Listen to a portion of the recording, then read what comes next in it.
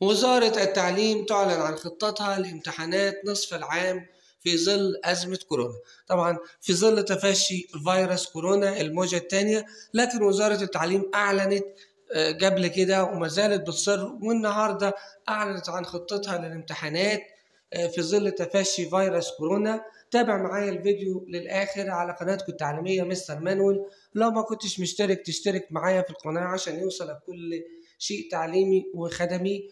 ولو مشترك دوس لايك ولو عندك أي تعليق اكتبهولي وأنا هرد عليك إن شاء الله. في الفيديو ده هنتابع كل الإجراءات وكل الحاجات اللي أعلنتها وزارة التربية والتعليم وفي حاجات مهمة خالص بالنسبة للطلاب والطالبات وكمان خاصة بالمراقبين والمشرفين على الامتحانات ونظام إن هم هيدخلوا الامتحانات إزاي وكل حاجة خاصة بيه. نشوف المنشور بيقول إيه اللي أعلنت الوزارة.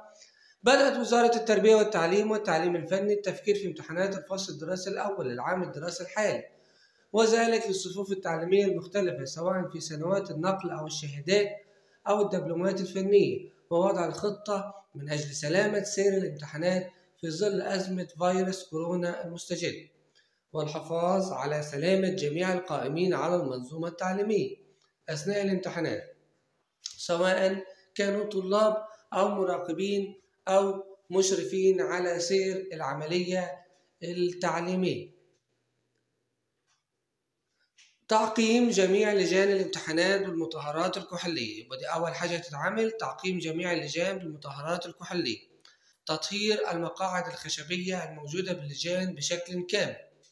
وضع بوابات إلكترونية معقمة على جميع بوابات المدارس التي بها لجان الامتحانات. النقطة الرابعة قياس درجة الحرارة لكل طالب على بوابة المدرسة قبل دخول الامتحانات. تعقيم كافة دورات المياه بالمدارس. تقليل أعداد الطلاب الممتحنين داخل اللجنة الواحدة. يعني لو اللجنة كانوا فيها بيبقوا عشرين هيقللوا العدد أو مثلا لو كانوا بيبقوا فيها اتنين وعشرين خمسة وعشرين هيقللوا الأعداد دي. تحقيق التباعد الاجتماعي بين جميع الطلاب داخل اللجنة الواحدة. إلزام جميع أفراد منظومة الامتحانات والقائمين عليها بارتداء الكمامة سواء طلاب أو مراقبين أو مشرفين.